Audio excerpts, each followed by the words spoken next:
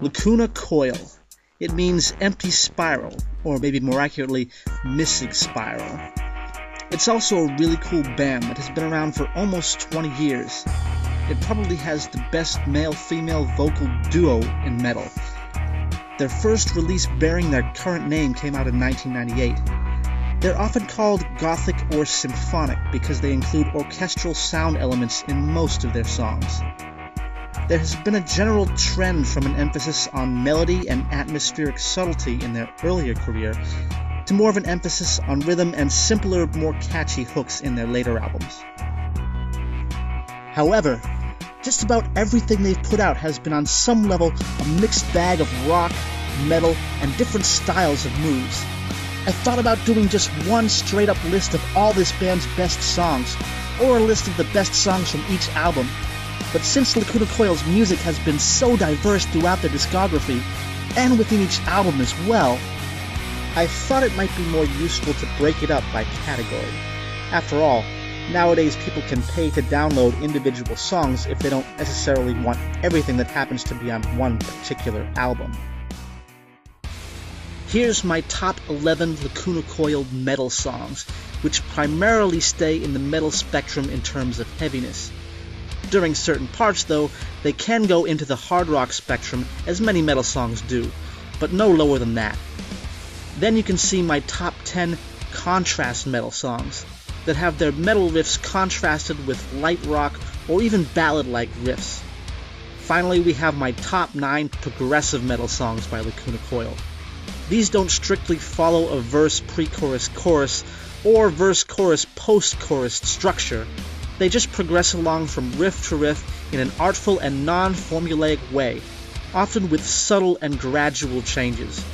I also highlighted everything with prominent symphonic elements in red, and gray for the ones with industrial or electronic type sounds. The songs with neither of those are in white. My number one straight up metal song by Lacuna Coil is Tightrope. The sprawling buzz of the verse riff is about a 5 as far as heaviness, and harder power chords smash through it intermittently, while backed by a haunting synth melody that sounds almost like voices. Then the song ascends to an 8 with the gripping power chord progression and absolutely enthralling melody of the chorus. And then a serious driving post-chorus riff intensifies the song even more, with the heavy music meter peaking at a 9 before dropping back down for the next verse. My top contrast metal song from Lacuna Coil is Swamped. It features resounding cries and mellifluous whispers that ring out from the quietly mysterious atmosphere of the verse. Then an evocative vocal hook sets up the compelling chords and epic lead of the chorus. The post chorus riff escalates from a 7 to a 9 as the backing orchestral waves of sound carry you to the next verse.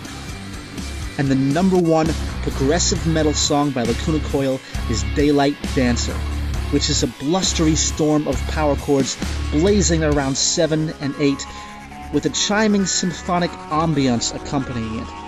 The song has soft, intriguing lows and vibrant fluctuations that build up to fierce, engaging high points.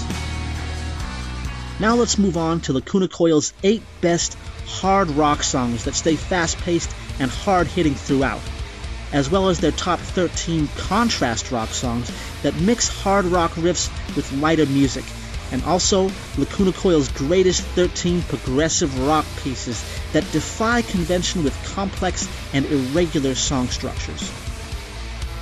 My number one pure hard rock Lacuna Coil song is Against You. The turbulent five of the lead guitar in the verse riff tap dances to a halt to set up the brief, chunky metal transition out of which a shouting chorus revels prodigiously at a 7. At 1 minute and 49 seconds, the bridge upsurges to an uproarious 40 second assault of heavy power chords in support of a tense, uncanny guitar solo at the peak of the song. The best Lacuna Coil song that combines light and hard rock is Hostage to the Light. The light acoustic notes of the verse drip down like rain on the tenuous, shifting violin melody in the background. A roaring transition then brings torrents of harder chords down as the soaring vocal hook ascends vehemently before gliding back down to the next verse. My top progressive rock song by this band is Cybersleep. The first half of the song is like a dream of echoey acoustic guitar, magical orchestral brass, and ghostly note bending. The second chorus wakes you from this dream with an enthralling run of power chords and captivating vocal melody. At 2 minutes and 55 seconds, there's an astounding swell of power chords and drumming that culminate in the song's spectacular zenith just before the last chorus and the finale. Finally, my top four ballads, and also top seven hard ballads that have the mood and atmosphere of a pure ballad, but they combine that with hard power chords or heavy palm muting. My number ones in both these categories are two versions of the same song. Falling has an enchanting presence with a floating acoustic guitar melody, accented by orchestral escalations and absolutely stunning vocal high points. The hard version, Falling Again, includes a drum beat that wasn't in the first one, and some power chords to strengthen the high points. But on the studio version, the vocals of Falling Again, for some reason, just don't have the same energy and emotional emphasis that the ones on Falling did. However, I found a live performance on YouTube with both the amazing vocals of Falling and the greater musical impact of Falling Again. I'll put an on screen link to that right over the song title, because that's the version I have on my music player. Okay, that's all my recommendations from Lacuna Coil. Whether you're just interested in the really heavy shit, or if you like the hard rock as well. And I'll throw in an all around top 20 regardless of category too. Here it is. Hope you enjoy and have a nice day.